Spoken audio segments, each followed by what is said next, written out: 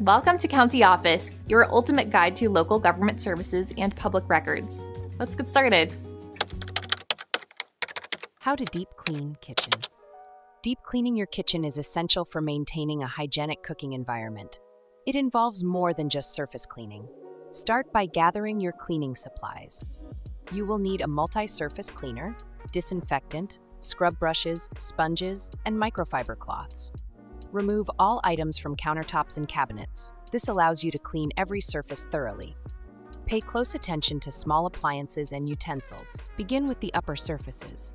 Dust light fixtures, ceiling fans, and cabinets. Use a damp cloth to trap dust effectively.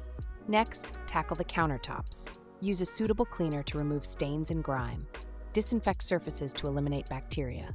Move to the sink area. Scrub the sink with a non-abrasive cleaner.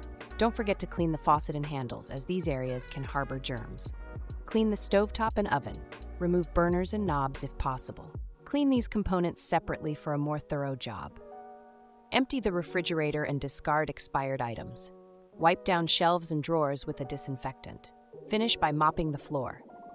Choose a cleaner appropriate for your floor type. Ensure to reach corners and under appliances. Regular deep cleaning can prolong the life of your kitchen appliances and improve food safety.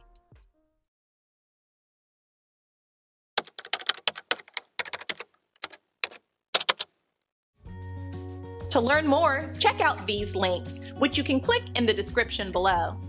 And feel free to comment your questions. We're here to help. Thanks for tuning in to our video. Please like and subscribe and leave a comment below. See you in the next video.